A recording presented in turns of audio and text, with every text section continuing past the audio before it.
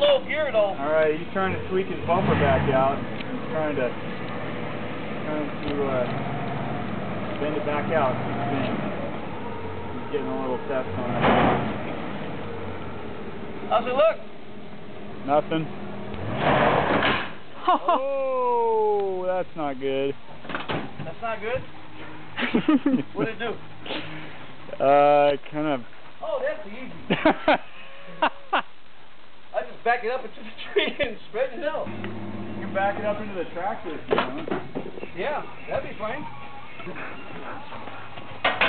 What you up I'll just pull it up, then it'll pull right back in.